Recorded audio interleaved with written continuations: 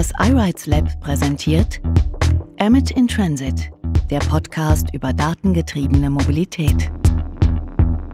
Hallo, wussten Sie, Innovationen in der Mobilität sind nicht immer nur gut. Hä?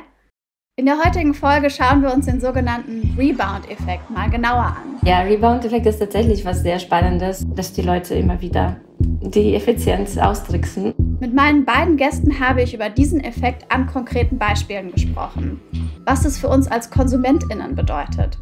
Ja, wollen wir die Menschen erziehen, Technologie zu benutzen oder Technologie schaffen, die den Menschen hilft? Bei Emmet beschäftigen wir uns ja intensiv mit datengetriebener Mobilität und wir schauen auch hier einmal kritisch hin ob es diesen Effekt auch bei uns in der datengetriebenen Mobilität gibt. Also im Moment ist es so, dass diese Fahrzeuge ungefähr zwischen ja, einem und 19 Terabyte an Daten erzeugen, wenn sie eine Stunde fahren. Wenn man diese Daten übertragen würde, dann würde der Energieverbrauch explodieren. Braucht es immer Technologie, um unsere heutigen Mobilitätsprobleme zu lösen? Man kann Dinge auch einfach machen. Also man muss sie nicht unnötig kompliziert machen, das stimmt natürlich. Hallo und herzlich willkommen, Frau Levina. Wer sind Sie und was machen Sie eigentlich? Ja, ich bin aktuell Professorin für Wirtschaftsinformatik an der TH Brandenburg und meine Forschungsthemen sind Ethik der Digitalisierung relativ breit, natürlich auch Geschäftsprozessmanagement, aber nicht nur die technische Seite davon, sondern eben auch die menschliche, die soziale und hier vor allem die Entstehung von äh, sozialverträglichen IT-Artefakten. Wie kriegt man das hin, dass digitale Lösungen so gestaltet sind, dass sie möglichst inklusiv sind, dass sie auf die Bedürfnisse der Menschen eingehen und dass man auch ihre äh, Risiken auch rechtzeitig abschätzt, bevor man sie auf den Markt bringt. Okay, und Herr Krall, wer sind Sie und was machen Sie?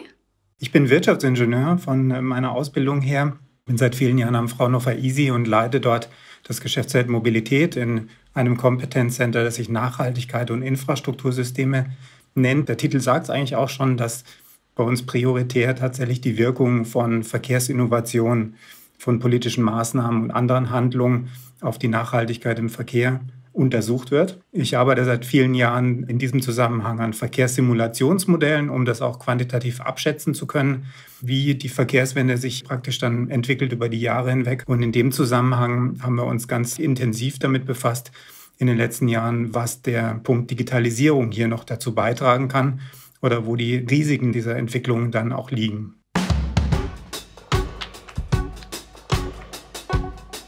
Haben es beide quasi schon angesprochen, Digitalisierung und Risiken. Es ist nicht immer nur alles wunderbar und positiv.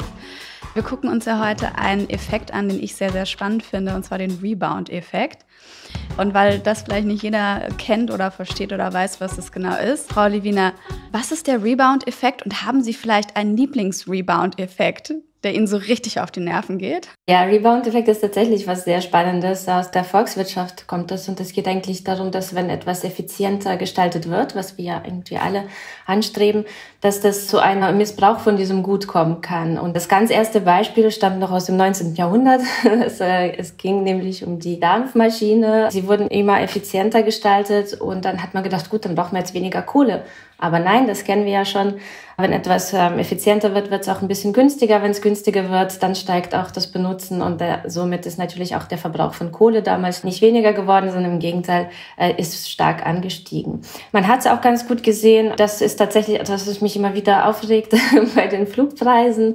Ja, die Motoren sind effizienter geworden von den Flugzeugen und alle haben sich gefreut. Wir können jetzt günstige Preise anbieten und effizient weniger Verbrauch und weniger CO2 ausstoßen.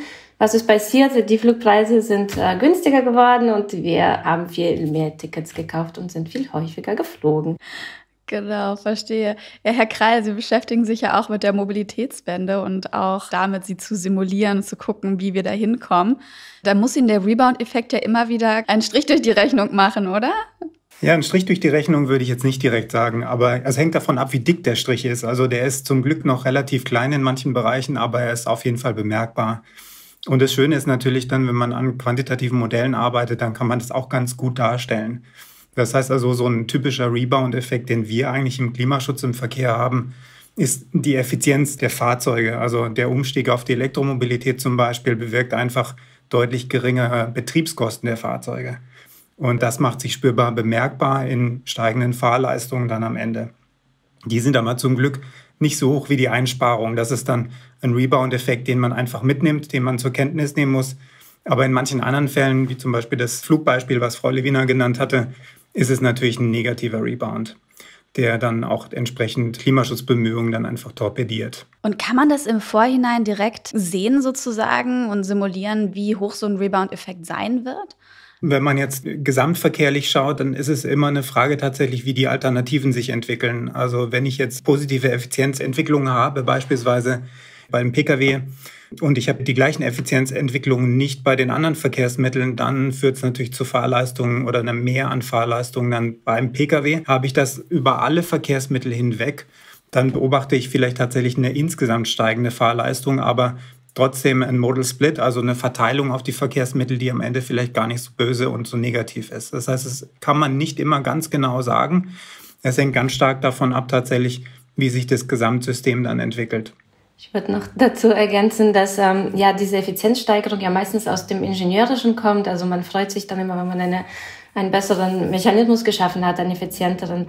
Und dieser Link zu der Wirtschaftlichkeit, zu den Menschen, die das dann anwenden und wie das dann auf ihr Verhalten auswirkt, das hat bisher noch nicht so stattgefunden. Und deswegen hat man bisher aus meiner Erkenntnis das noch nicht mit berücksichtigt. Das heißt, die einen freuen sich über den Fortschritt, den mechanischen oder den technischen und die anderen nehmen dann eben die Daten auf und sagen, okay, ja, das hat jetzt aber zu etwas negativeren Auswirkungen geführt. Und jetzt arbeiten wir, glaube ich, alle verstärkt daran, diese beiden Sichten zusammenzubringen und von Anfang an mit zu integrieren. Und dann könnte man das nämlich auch wahrscheinlich quantifizieren beziehungsweise ein bisschen mehr mit berücksichtigen bei den Neuentwicklungen.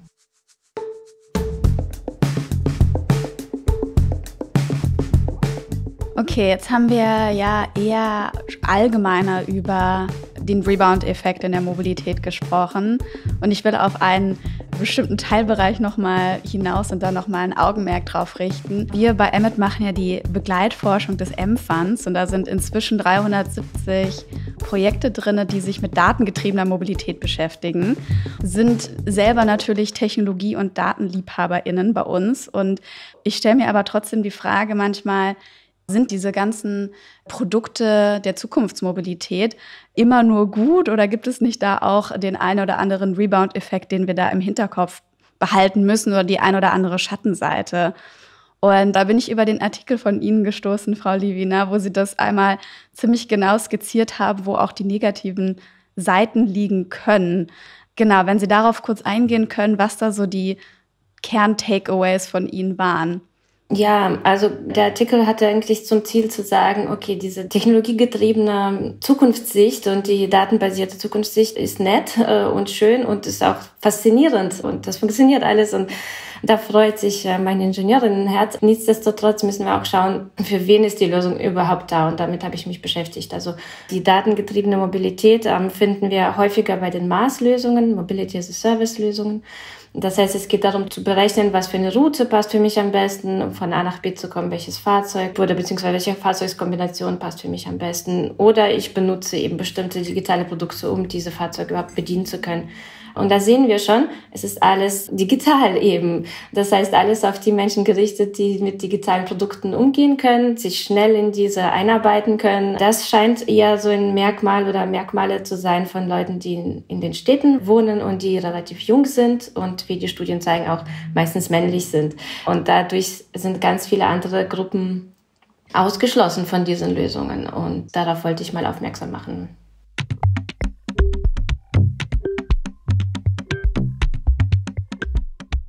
Herr Krall, sehen Sie das auch so? Also Sie beschäftigen sich ja auch viel mit Zukunftstechnologien, mit Mobilitätswende und ist Ihnen das auch schon mal begegnet, dass Sie sich gefragt haben, hm, ist das eigentlich alles so cool?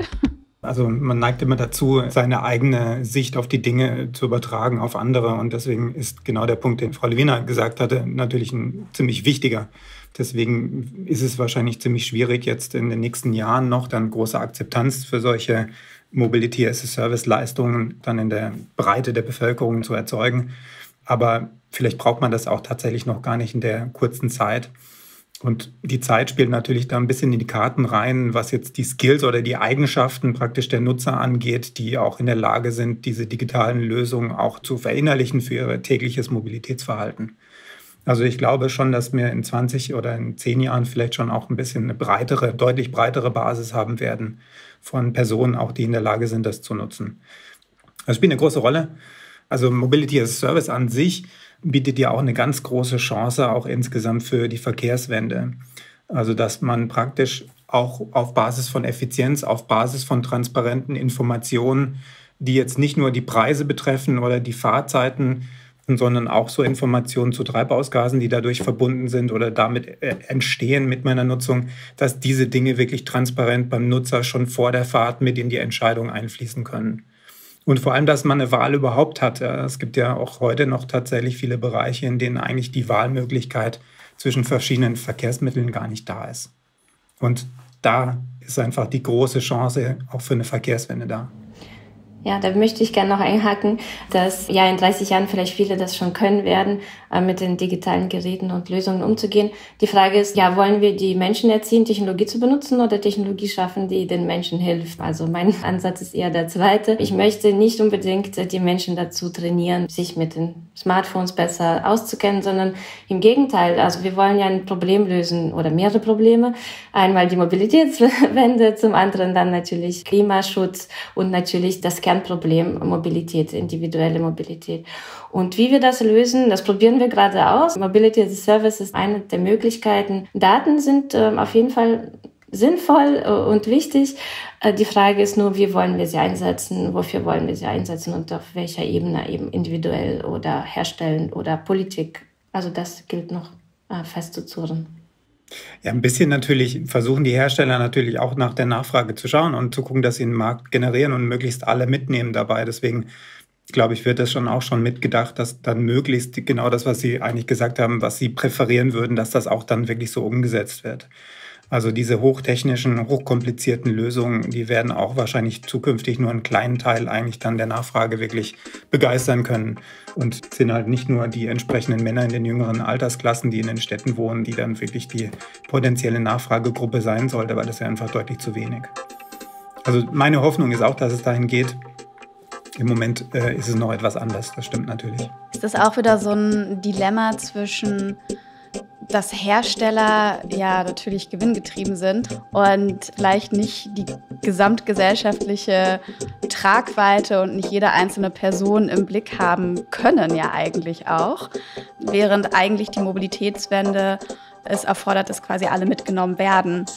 Ja, genau. Also das ist ganz klar und viele Städte haben es auch erkannt, dass wenn man diese Mobility as a Service Unternehmen alleine laufen lässt, dann ist es nicht fördernd für die gesamte Gesellschaft, weil eben sowas wie Randbezirke vergessen werden oder Menschen, die sowieso Mobilitätseinschränkungen haben, gar nicht berücksichtigt werden, was auch aus der Sicht der Unternehmen komplett nachzuvollziehen ist. Ne? Sie wollen ihren Gewinn steigern. Und deswegen haben die Städte gesagt, gut, das ist aber unser Auftrag, allen die Mobilität zu ermöglichen und kooperieren deswegen mit diesen Herstellern und Unternehmen zum Beispiel indem sie ihren ÖPNV-Netz mit an diese Unternehmen anschließen und das mitfinanzieren sozusagen. Das heißt, durch in die öffentliche Hand nehmen. Und das geht eigentlich nur so wahrscheinlich durch die Querfinanzierung, weil ja, wir wissen alle, es ist schwierig, alle mitzunehmen und das auch noch gewinnbringend zu machen. Deswegen ist das durchaus ein Weg, den viele Städte schon gehen und eben so ein Hybrid fahren gewinnorientiert versus gemeinwohlorientiert. Ich glaube, Sie hatten diesen Begriff Digital Solutionism auch in diesem Artikel erwähnt, im Sinne von, wir versuchen Probleme einfach erstmal digital zu lösen, weil es unser Weg ist, Probleme zu lösen. Aber würden Sie sagen, dass wir einige Probleme, die wir haben, die wir auch mit der Mobilitätswende anpacken müssen, eigentlich durch nicht digitale Produkte auch zu lösen wären? Vielleicht Herr Kreil einmal dazu auch? Ja, also man kann Dinge auch einfach machen. Also man muss sie nicht unnötig kompliziert machen, das stimmt natürlich. Aber wenn man in der großen Masse das hinbekommen möchte, was man eigentlich hinbekommen möchte, eine effizientere Nutzung eigentlich der Rohstoffe und wegkommen möchte von diesem Schema, das man heute hat. Ein Haushalt hat seinen eigenen Pkw, die private Motorisierung ist das dominierende Mobilitätsbild, dann braucht man einfach auch diese digitalen Lösungen insgesamt, weil ansonsten ist das Mobilitätsbedürfnis, das man heute hat, zukünftig nicht abzudecken. Das ist meine persönliche Meinung. Vielleicht sieht es Frau Lewiner anders, aber ich glaube wirklich, dass wir diese Lösung brauchen und deswegen gilt es halt, die so effizient wie möglich auch tatsächlich in den Markt zu bringen. Ja, ohne Frage. Effizient ist etwas, was aus der Ingenieurwissenschaft kommt. Das ist definitiv quantitativ und das basiert auf Daten. Das heißt, da kommen wir auf jeden Fall nicht drum rum. Digitale Lösungen, damit können wir vieles einfacher machen. Warum nicht auch die Mobilität und eben dieses Technological Solutionism mit dieser Klappe dann eben versucht haben, auch diese Lücke zu stopfen. Ist natürlich ein Versuch äh, wert. Es war ein bisschen ein Wildwuchs am Anfang, wie wir das mit den E-Scootern gesehen haben, dass das ähm, einfach mal ja schon in die Hose ging, bis viele Städte gesehen haben, gut, es geht nicht nur um Digitalisierung, es geht nicht nur um Motorisierung, sondern es gibt auch andere Wege und zwar auch individuelle Wege. Man kann nicht sagen, das, was Helsinki macht, das kann auch Berlin machen, sondern es muss eine individuelle Lösung zusammen mit den Unternehmen gefunden werden. Es das heißt nicht, wir müssen alle zurück in die Steinzeit und nur noch laufen, sondern irgendein nachhaltiger Kompromiss muss gefunden werden für jede Stadt, für jede Region, ein eigener, sehr wahrscheinlich. Und ja, wir haben uns jetzt dran gewöhnt in den letzten, würde ich sagen, 10, 15 Jahren sehr mobil zu sein wann wir wollen, wohin wir wollen. Die Entfernungen spielen keine Rolle mehr. Also ob wir jetzt acht Stunden fliegen, ist für uns langsam auch schon normal geworden oder möglich geworden. Aber das ist auch eine Frage. Wollen wir das so beibehalten? Möchte ich komfortabel zu jeder Tageszeit überall da sein, wo ich gerade möchte? Oder kann ich warten? Ja, ich glaube, wir sind insgesamt sehr viel schlechter darin geworden zu warten. Kann ich auch auf jeden Fall von mir selber sagen. Ich glaube, ich konnte das irgendwann mal besser. Wir waren jetzt gerade hier schon bei dem Aspekt von Mars, aber es gibt ja noch andere Technologien, die auch Rebound-Effekte haben können. Und da ist die Vehicle-to-X-Kommunikation, also ein Auto, ein autonom fahrendes Auto tauscht Daten aus mit Infrastruktur oder mit anderen Autos und dass das auch dazu führen kann, dass eben sehr viele Daten gespeichert, verarbeitet, ausgetauscht werden müssen und das einen sehr großen Energiebedarf hat. Zufälligerweise haben wir jemanden hier, der sich damit sehr intensiv beschäftigt hat. Herr Kreis, Sie hat mir diesen Effekt sehr genau unter die Lupe genommen. Können Sie einmal Ihre Studie umreißen und dann so Ihre Takeaways daraus einmal erklären? Ja, kann ich gerne machen. Vielleicht muss ich ein bisschen länger ausholen. Ich versuche es aber trotzdem so kurz wie möglich zu halten. Vor ungefähr zwölf Jahren hatte ich in einem europäischen Workshop mit Kollegen aus anderen Fachbereichen gesprochen und viele sind zum Schluss gekommen, dass die größten Chancen und Risiken in der Digitalisierung liegen. Der Antriebswechsel bei Fahrzeugen, der ist wahrscheinlich deutlich weniger gewichtig als das, was so durch den Block Digitalisierung, Automatisierung und Vernetzung kommen kann.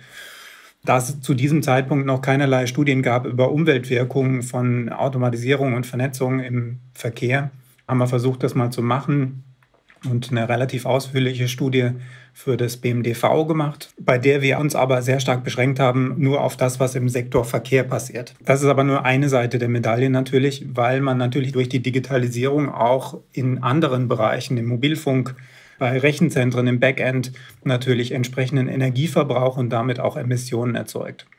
Und diesen Teil haben wir praktisch dann ergänzt in einer fortführenden Studie für die Agora Verkehrswende, die letztes Jahr veröffentlicht wurde unter dem Titel Auto tankt Internet. Und das ist dann so einer Markthochlaufkurve gemündet, bei der rausgekommen ist ungefähr, dass bis zum Jahr 2050 circa ein Drittel ungefähr der Pkw vollautomatisiert oder fahrerlos fahren könnten im Bestand. Bei den Lkw oder bei den gewerblich genutzten Fahrzeugen ist deutlich mehr. Und dadurch entsteht natürlich, das hat man in Feldstudien herausgefunden, ein gewisses Effizienzpotenzial. Zum einen, weil die Fahrzeuge nicht mehr so schnell auf den Autobahnen fahren können, das ist ein Faktor, weil die äh, Sensoren nicht so weit nach vorne schauen können. Ein anderer Faktor ist, dass die Fahrzeuge harmonischer fahren, besonders stark beschleunigen, besonders stark abbremsen. Das werden die Fahrzeuge zumindest beim Abbremsen nur noch in Notfällen tun. Diese Effizienzvorteile, die sind bis dato noch nicht quantifiziert worden. Wir haben das versucht und herausgefunden, dass da schon bis zu 16 Prozent Verbesserung entstehen kann. Aber auf der anderen Seite natürlich genau muss man auch berücksichtigen, was, was lädt man sich dann zusätzlich auf. Also die Fahrzeuge werden schwerer, Sensoren sind verbaut, es sind Festplatten da drin, große Recheneinheiten, die vorher noch nicht drin waren. Die verbrauchen natürlich auch Strom. Und was wir herausgefunden haben, ungefähr ein Drittel dieser Einsparung, der geht wieder drauf. Und dann haben wir uns auch angeschaut, was dann mit der Vernetzung noch passiert, wenn man wirklich dann alle Daten rüberspielen oder sehr viele Daten rüberspielen über Mobilfunk oder eine WLAN-Infrastruktur. Und das dann kann sehr eklatant sein. Also im Moment ist es so, dass diese Fahrzeuge ungefähr zwischen ja, einem und 19 Terabyte an Daten erzeugen, wenn sie eine Stunde fahren. Es geht einfach nicht, dass alle diese Daten übertragen werden. Wenn man diese Daten übertragen würde, dann würde der Energieverbrauch explodieren. Aber die Chance besteht zukünftig, vielleicht ab 2030, ab 2040, dass am Ende Energieeinsparung hinter dem Gleichzeichen steht. Und das ist die große Chance dabei. Aber man muss ganz deutlich sagen, im Moment sieht es noch nicht so aus.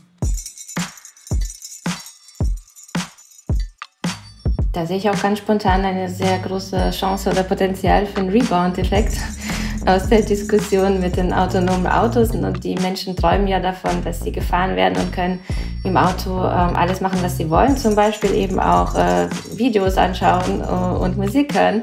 Und da kommt natürlich, wenn man noch weiß, okay, theoretisch spare ich ja ähm, 2050 16 Prozent der Energie ein, na, dann kann ich ja ein bisschen was gucken. Und dann äh, werden wir unseren Datenvolumen, das wir ähm, austauschen oder die Autos mit der Infrastruktur austauschen wollen, ganz schnell wieder in die Höhe treiben. Ja, das ist noch ein weiterer Faktor. Das ist zum Beispiel jetzt bei den Untersuchungen, die wir gemacht haben, gar nicht berücksichtigt, dass sowas wie Infotainment oder die Chance für fahrfremde Aktivitäten praktisch, also für Videoschauen oder andere Dinge oder zu arbeiten, dass die noch gar nicht da berücksichtigt sind. Und auch hier müsste es dann im Prinzip so sein, dass die Hersteller stärker reguliert werden, bevor die Technologie so richtig den Markthochlauf bekommt, dass man quasi noch vorher Standards gesetzt hat? Oder wo muss man quasi die Hersteller ja, regulieren, damit sich der Rebound-Effekt zumindest in Grenzen hält? Ja, was die Datenübertragung angeht, muss man wahrscheinlich regulieren. Das, glaube ich, geht nicht anders. Was jetzt den Energieverbrauch der Fahrzeuge angeht, da ist, glaube ich, der Hersteller selber getriggert, das zu lösen, weil natürlich der Antriebswechsel auf die batterieelektrischen Fahrzeuge natürlich auch praktisch mit Reichweiteneinschränkungen einhergeht. Und je stärker der Verbrauch der Fahrzeuge on board ist, desto weniger weit kommen die Fahrzeuge, desto weniger attraktiv sind die für die Nutzer und weniger stark werden die auch nachgefragt. Das heißt, da gibt es schon auch positive Rebound-Effekte, sage ich jetzt mal, die dazu führen, dass die Hersteller vielleicht hier schon Effizienz vielleicht etwas höher hängen. Also ich finde, wir haben hier noch den Luxus, uns noch die Sinnfrage zu stellen, bevor wir mit der Regulierungskeule kommen. Und zwar zu fragen, ja, muss das denn auf den Konsumenten, Konsumentinnenmarkt überhaupt raus, diese Technologie? Was bringt mir das? Ähm, so ein Use Case, ne? wenn wir mal wirtschaftlich denken, was kostet mich das und was bringt das? Und so eine Vehicle-to-X-Infrastruktur ist unglaublich teuer. Und das heißt, allein schon die Frage, wer soll das bezahlen, wer will das bezahlen, wer kann das bezahlen, ist, glaube ich, schon mal eine ganz ja, realistische Hürde, die wir hier haben werden. Und mal angenommen, dass äh, diese Infrastruktur würde dann entstehen, was bringt mir das als Fahrerin oder Fahrer, das in mein Auto kommuniziert? Okay, Herr Kreim meinte, wir sind dann effizienter und können dann ruhiger fahren. Ist es für mich so ein großer Gewinn, dass ich ein Auto kaufe, das viel teurer ist und vielleicht auch größer. Mal schauen, am Anfang werden sie wahrscheinlich jetzt nicht sehr schlank und äh, wendig werden, die Autos, sondern mit großen Sensoren auch ausgerüstet sein, mehr oder weniger. Wobei die Technologie an sich natürlich super ist. Wenn wir jetzt von Lkw-Kolonnen sprechen, die sanfter fahren, die effizienter fahren, dann ist es ein viel größerer Gewinn, als wenn das die Privatfahrzeuge tun. Oder wenn man schon ruhig und eintönig fahren möchte, warum nimmt man dann nicht die Schiene? Die Infrastruktur ist da. Die muss man modernisieren, vielleicht ein bisschen ausbauen, aber ich vermute, die Kosten werden die Kosten von Vehicle-to-X-Infrastruktur nicht übersteigen. Jetzt mal Pi mal Daumen geschätzt. Da will ich auch wieder auf diesen technologischen Solutionism zurückkommen muss das denn sein? Also muss das denn sein für mich als Konsumentin? Brauche ich das? Muss das denn sein für die Umwelt, wenn ich die ganze Infrastruktur auf den Kopf stellen muss äh, und mehr Energie und Daten habe? Ja, und muss das denn sein? Es gibt doch schon eine Lösung.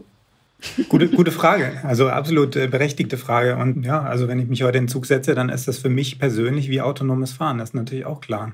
Mhm. Ich muss mich nicht aufs Fahren konzentrieren. Also genau. warum nicht? Ähm, berechtigte Frage. Wie gesagt, auf lange Sicht gesehen sind wir schon auch zum Ergebnis gekommen, dass es äh, Energieeffizienzvorteile hat, wenn man dieses System implementiert. Die sind zwar nicht so groß, wir sind davon ausgegangen, dass wir so ungefähr bis zu zweieinhalb bis drei Prozent Energie einsparen können auf die lange Sicht. Man muss den Weg bis dahin einfach entsprechend anpacken und wissen, was auf einen zukommt. Und deswegen ist die Regulierung halt in der kurzfristigen und mittelfristigen Perspektive sehr wichtig. Also ob die Nutzer das am Ende wollen, entscheiden die Nutzer wahrscheinlich am Ende selber. Der große Vorteil gegenüber dem System oder dem Umsteigen auf die Bahn ist ja, dass ich praktisch mit diesen automatisierten Fahrzeugen zukünftig natürlich Lösungen habe, die mich von Tür zu Tür bringen.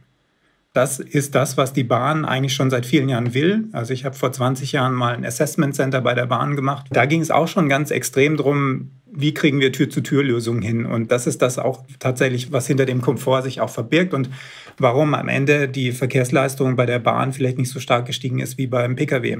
Und dann ist neben dem Komfort natürlich noch ein weiterer Aspekt dabei, der vielleicht jetzt hier noch nicht so aufgetaucht ist, das ist die Sicherheit.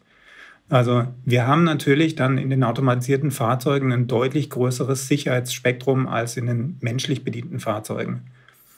Vielleicht schwebt bei dem einen oder anderen die Pressemitteilung über irgendwelche Unfälle von automatisierten Fahrzeugen noch im Hintergrund. Aber wenn man sich die ähm, getesteten Fahrzeugkilometer anschaut im Vergleich zu den Unfällen, die damit produziert worden sind, dann sind die deutlich, deutlich geringer. Es gibt diverse Untersuchungen, die gehen davon aus, wenn wir vollautomatisierte Fahrzeuge haben werden, dann sinken die Unfälle um 90 bis 100 Prozent. Das ist natürlich auch nochmal ein weiterer Aspekt. Wir wollen ja auch Verkehrssicherheit haben. Also vielleicht könnte das noch ein weiteres Kaufkriterium am Ende sein. Aber die Hoffnung, die auch ein bisschen dahinter noch mitschwingt, ist, wenn die Fahrzeuge irgendwann so weit sein sollten, dass die alle miteinander vernetzt sind, dann haben wir auch große Vorteile bei der Effizienz der Nutzung der Fahrzeuge auf den Straßen.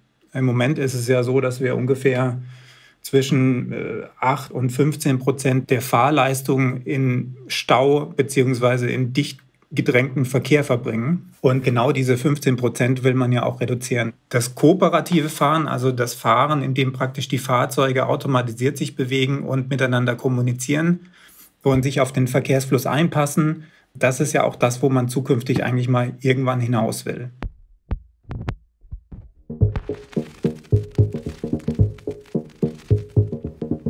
Man im Stau steht, dann synchronisiert man sich automatisch. Da kann man nicht viel machen. Genau, diese Sicherheitsstudien, die gibt es. Die sind aber relativ selten in einem urbanen Kontext. Ne? Es geht um die Schnellstraßen, um die Straßen, die relativ einfach zu bedienen sind von autonom fahrenden oder von automatisiert fahrenden Fahrzeugen. Also in der Stadt ist mir das noch nicht ganz klar, wie das sicherer sein sollte. Vor allem, wenn man sich das Chaos zu den Stoßzeiten hier anschaut aus äh, Scootern, Fahrrädern.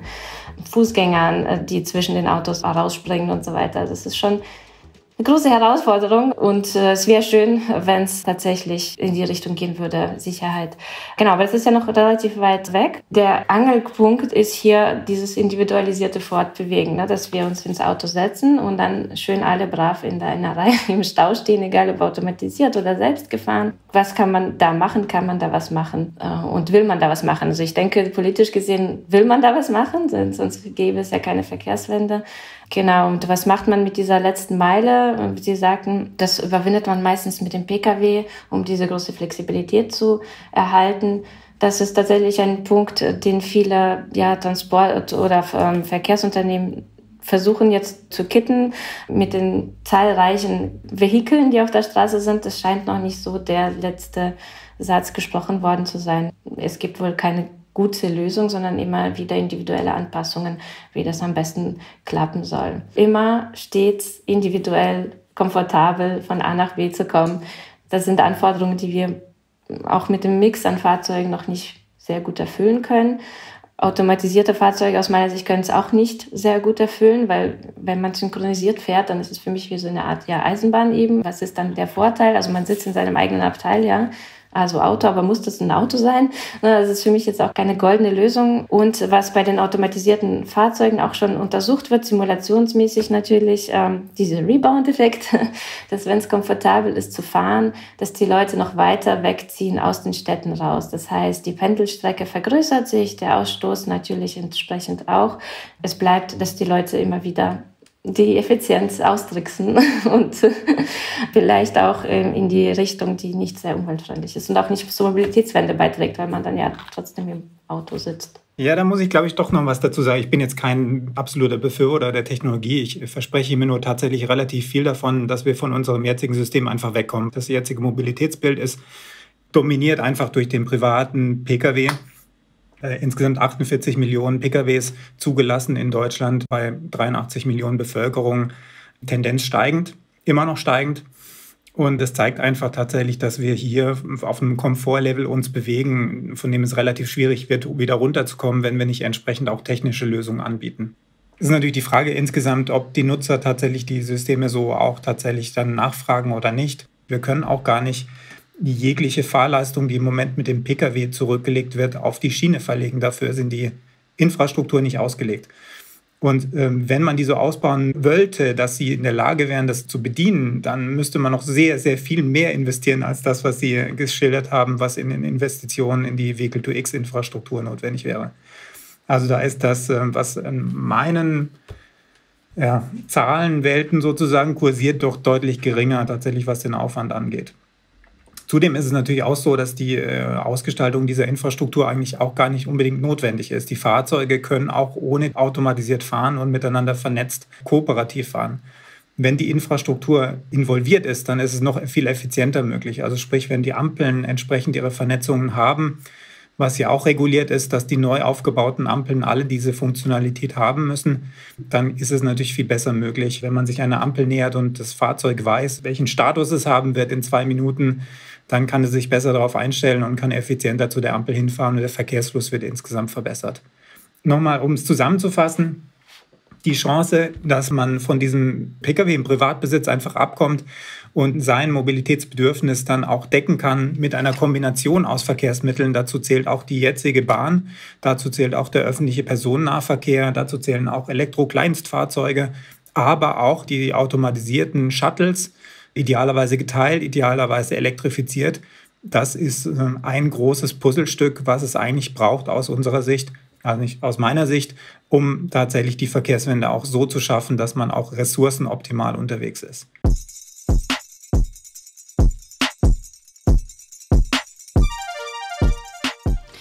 Ja, Herr Krall, Sie meinten gerade, das autonome Fahren ist ein Puzzlestück für eine Mobilitätswende. Frau Livina, wie würde die Mobilitätswende bei Ihnen aussehen, wenn Sie das orchestrieren könnten, wenn Sie da die Fäden in der Hand hätten? Ja, ich würde versuchen, ähm, heute, gestern schon anzufangen, und zwar bei den Menschen, weil es geht hauptsächlich hier um diese individuelle Mobilität und es geht darum, dass wir das Komfortbedürfnis haben, das Mobilitätsbedürfnis haben und wir sollten langsam vielleicht auch Mechanismen entwickeln, diese Bedürfnisse zu priorisieren und äh, zu verstehen, was steht denn dahinter, wenn ich dieses Bedürfnis mir jetzt in dieser Form erfülle. Sei es jetzt, steige ich in den Zug, steige ich in ein Auto, um fünf Minuten zum Supermarkt zu fahren, nehme ich ein Fahrrad oder ein E-Scooter. Die Mobilitätsentscheidungen erstmal ganz hinterfragen und dazu gehört natürlich die gesamte Gesellschaft, also auch die Arbeitgeber und die Arbeitgeberinnen. Ähm, wo möchte ich meine Mitarbeitenden haben? Möchte ich sie alle an einem Ort haben? Es reicht das, wenn sie von zu Hause arbeiten? Äh, ja, wie soll ich das unterstützen, dass die Mobilität sinnvoll ist? Bei Geschäftsreisen zum Beispiel ist jede Geschäftsreise sinnvoll.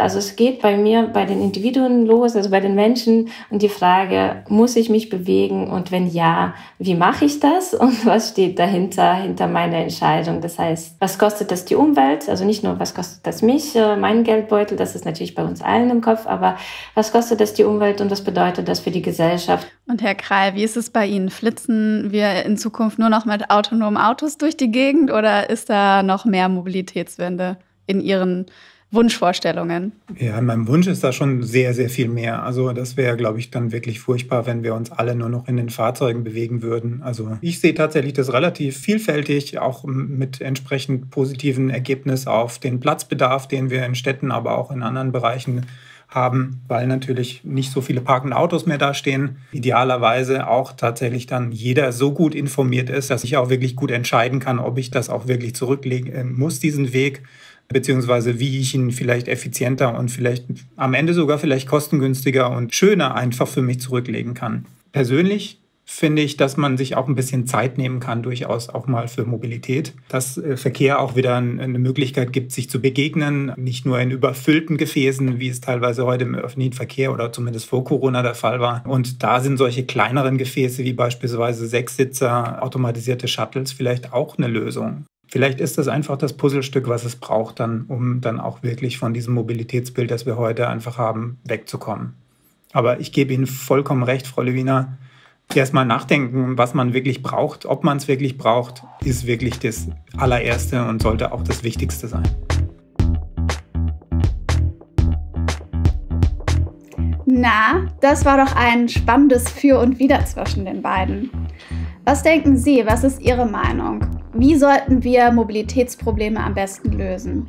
Sollten wir eher bei unserem eigenen Verhalten ansetzen oder brauchen wir eine flächendeckende technologische Lösung? Oder beides? Apropos autonomes Fahren. Wir haben auf Emmet.io eine Artikelserie für Teststrecken für autonomes Fahren zusammengestellt mit allen 28 Teststrecken, die es aktuell in Deutschland gibt. Also, wenn es Sie interessiert, wo jetzt schon autonome und vernetzte Autos in Deutschland unterwegs sind, dann schauen Sie gerne rein. Bis zum nächsten Mal bei Emmet in Transit.